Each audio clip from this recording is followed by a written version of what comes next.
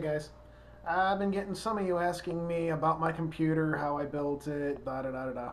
So here, I'm gonna just give you a little video of it so you can see. I could build anybody anything like this, better than this, worse than this, whatever you want. I can build it as long as you don't want me to build a Mac. You can't build a Mac.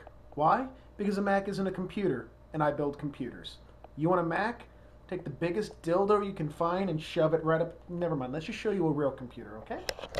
All right.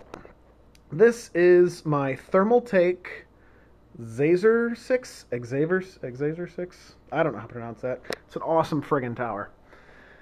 All right, so yeah, you get the basic look of it. I got some uh, cold cathode lighting in there. That's why it's all lit up blue like that. Those things are cheap too. Those two uh, cold cathode lights, only $12. Very easy. All right, you have a removable top. I can just push those uh, little clips there down, take this whole thing off. As you can see, I've got some of my cables stashed back there so you don't really see them. This is my header panel with uh, you know, the FireWire, two eSATAs, four USBs, the microphone and everything, power switch and all that. Open up the front door to see my seven drive bays. First drive bay is a drawer. That's right, I got a frickin' drawer in my computer. Got my DVD. These things, very easy to use.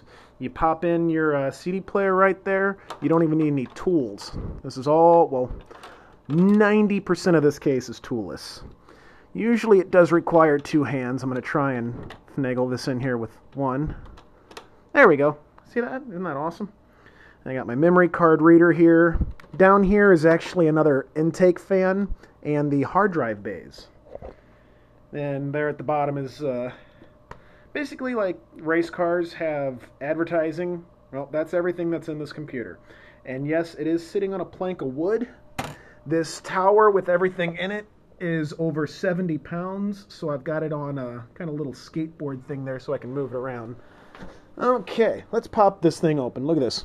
One little thing here, and boom, side comes right off. Inside, got your power supply up top. That's the PSU power supply unit. Uh, the main thing is this big thing in the back that everything's connected to. That is the motherboard. That's the MOBO. That's what you connect everything to, the most important part of your computer. Uh, behind this fan and heatsink here is my quad-core AMD CPU, Central Processing Unit. I always and only buy AMD. I will build whatever you want, though. You want an Intel chip, I'll build you an Intel chip. You're paying for it. I like AMD because I just like the company. They have better business practices, in my opinion, and uh, they're considerably cheaper than Intel parts.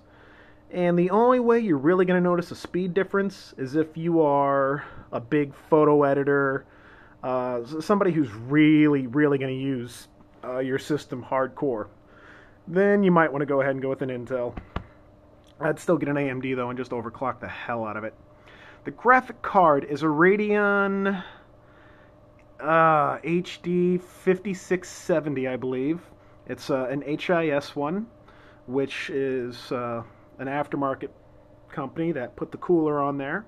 It's not overclocked or anything like that. It's just got an aftermarket cooler. Keep it nice. I don't have a sound card. I use the onboard audio. It's 7.1 channels of digital. Works fine for me. I currently have uh, two hard drives. The first one here is an SSD drive that is a solid state drive. It's uh, basically like flash memory, only you know much faster and uh, more versatile and everything. I have my operating system installed on that. It's only 32 gigabytes. Gives me a few gigabytes left over for Windows 7 with all updates. Boots up super fast. The second drive is a 1.5 terabyte Seagate hard drive. It's got all my movies and everything on it, and I do mean all my movies. See that top shelf there? That's all DVDs. Every one of those is in my computer, including all the DVDs that are on the right hand side of that second shelf. How did I put copyrighted DVDs onto my computer? Slysoft. Look it up. Okay, what else do I have in there? The other two cables down here are actually the front panel connectors. So the ESATA uh, connectors on the front panel go directly to the motherboard. Freaking awesome. Oh, and then of course my 8 gigabytes of Mushkin RAM. This right here, your RAM, that is what will really help speed up your computer. If you've only got like 2 gigabytes and you're one running uh, a 64-bit operating system like uh, Vista or uh, Windows 7, you really should have at least 4 gigabytes. I'm running 8, works great. Don't have any problems with that at all. Got extra hard drive bays down here. Well, I've got all these hard drive bays. I've got all these bays up here. Why do I have all those bays? Expandability. Let's say I want to get a DVD burner. Let's say I want to put in another shelf. Um, there are lots of devices that monitor temperatures and speeds and everything in the computer, and they go in those bays as well. And then the hard drive bays, I've always wanted to have my own server uh, to run a server, and this is basically our home server now. I have it connected to the PS3 and the girlfriend's computer through my router there, and you can access all of my movies and everything from my computer on the PS3 or the girlfriend's computer, which is awesome. So, that is my system. You want something like it? I can build you one like it. Um, I will not build you this exact system. I will not build you a computer in that tower. This is my tower.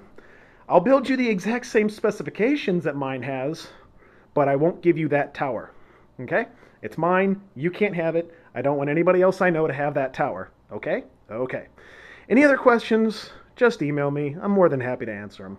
Thank you for watching. Have a great day.